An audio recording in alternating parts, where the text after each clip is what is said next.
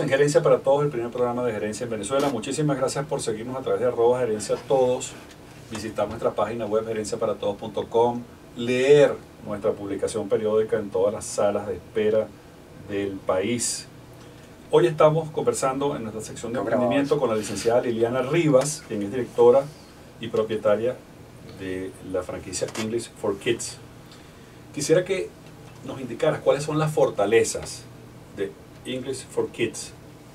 ¿Por Bueno. qué es fuerte y por qué es recomendable para los niños que quieran aprender este idioma? Claro, bueno, como te comentaba hace rato, eh, es un método comprobado. Ya nosotros con todos los años de experiencia que tenemos hemos visto y hemos experimentado la reacción de los niños y cómo de verdad responden al idioma, ¿no? Nosotros, una de nuestras grandes fortalezas me parece que es el método con el cual enseñamos el idioma, ¿no? Porque sabemos que los niños pequeños no saben leer.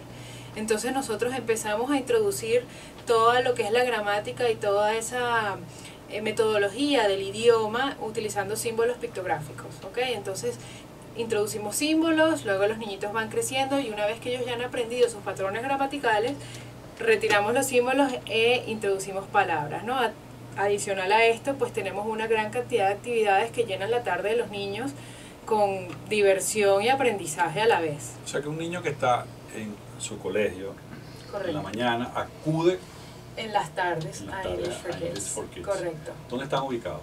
En este momento tenemos tres sedes ubicadas en Chuao, eh, La Taona y Colinas de Tamanaco.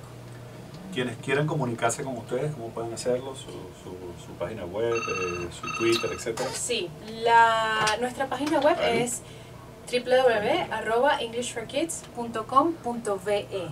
Desde allí nos pueden escribir porque la página les permite mandar correos Sí, va. electrónicos o nos pueden llamar a los teléfonos Sí, lo voy a empezar a grabar entonces 962-6106 o 735-0404. El Twitter, Twitter arroba English for Kids DZLA. excelente.